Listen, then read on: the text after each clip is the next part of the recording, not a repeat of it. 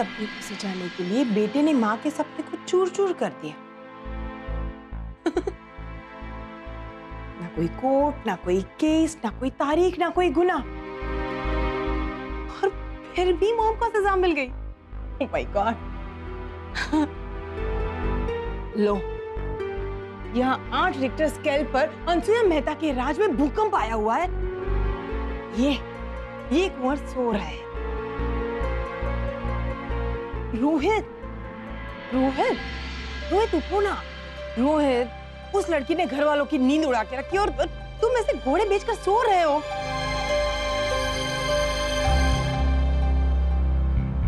Oh my God, um, क्या नाम था? रोहित रोहित बताओ ना। रोहित देवर जी ने उस लड़की का नाम क्या बताया था? बोलो ना। मही। मही। और अपने देवर जी का नाम सागर।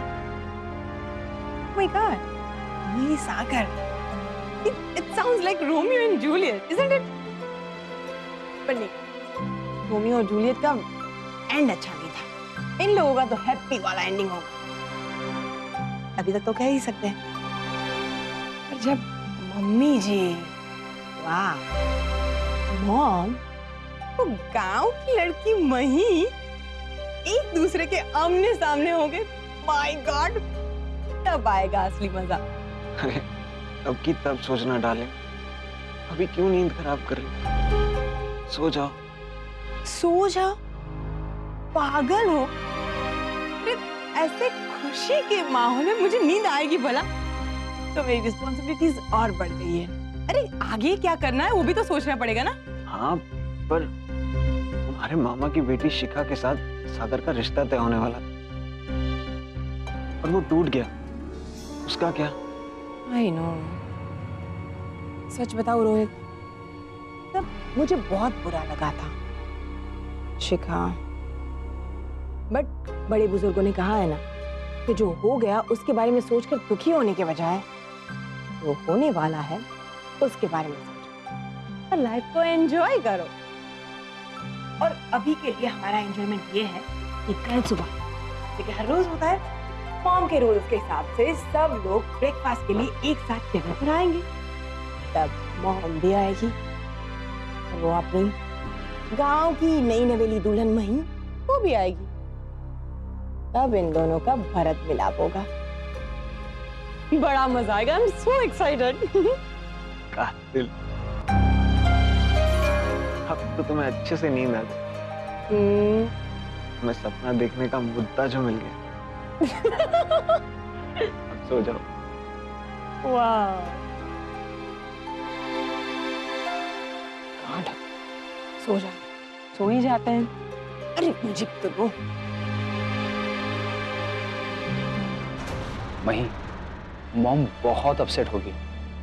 उन्हें आराम से समझाना होगा। सुबह नाश्ते के समय। ठीक है, सागर जी। वैसे भी रात को किसी ने खाना नहीं खाया। तो सुबह नाश्ते पर तो टूट पड़ेंगे सब, है ना? और मम्मी जी जैसे ही आएगी ना, मैं तो पहले ही उनके चरण स्पर्श कर लूँगी और फटाक से उन्हें गले मिल लूँगी और तब तक नहीं छोड़ूँगी जब तक वो मुझे माफ़ ना कर दे। हाँ। जो करना है करना, पर थोड़ा संभाल के हाँ? सागर जी आप मुझे डरा क्यों रहे हो? मैं उनसे संभल कर ही गले मिलूँगी। उनको गिरा थोड़ी ना दूँगी।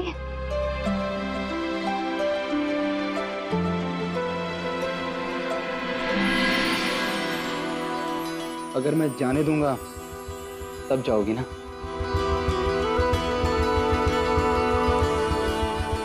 अच्छा जनाब कब से मैं सासू माँ के गले लगने की बात कर रही थी? आपके दिमाग में कुछ और ही चल रहा था। चल रहा था नहीं। चल रहा है। बाप रे चीटर।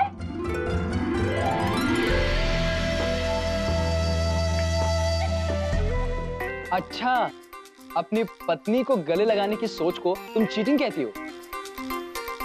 ओ हाँ नहीं। मैं तो भूल ही गई। कि हम दोनों पति पत्नी बन चुके हैं। अच्छा ये तुम्हें अभी याद आया। हम्म? कैसे याद होता सागर जी? एक तो गाँव में पापू जी की तबीयत खराब हो गई थी और यहाँ यहाँ सासू माँ मुझसे नाराज़ हो गई है। तो मन को फुर्सत ही नहीं मिली ना। अब तो मिली ना।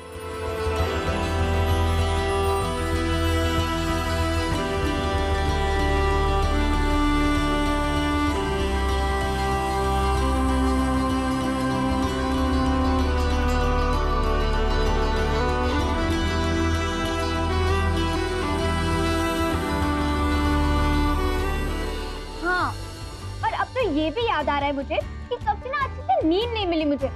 तो आज तो मैं जी भर के सोऊँगी। मैं जा रही हूँ सोने हाँ? होता है जो लव से ज़्यादा, वैसे वाला लव। इश्क वाला लव।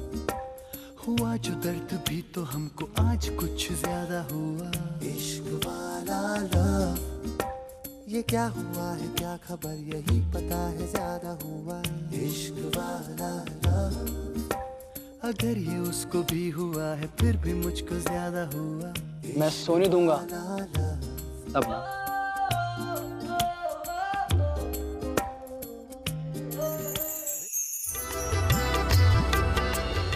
अच्छा जनाब अब आप हमसे दादागिरी करोगे।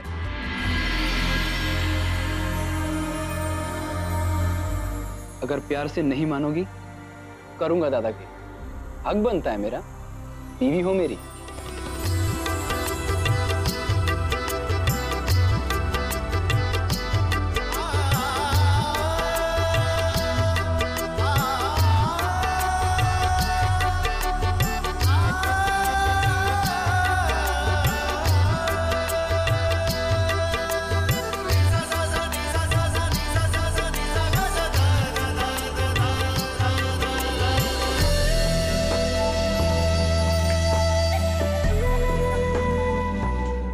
ऐसे नहीं, सागर जी। मैं आपको बताती हूँ। इधर आओ इधर आओ।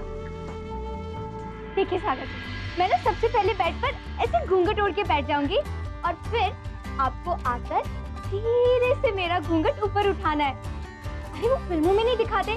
शादी की पहली रात हस्बैंड बाहर से आता है, फिर धीरे धीरे घूंघट ऊपर उठाता है। बस, आपको भी वैसा ही करना है, और कुछ नहीं।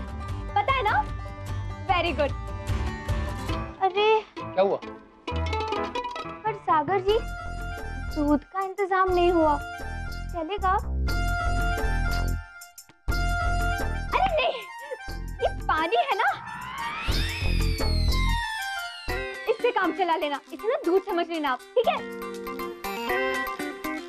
ये हो गया आपका दूध तैयार। अब मैं ना मस्त एकदम घूंघट ओढ़ के बैठ जाती हूँ।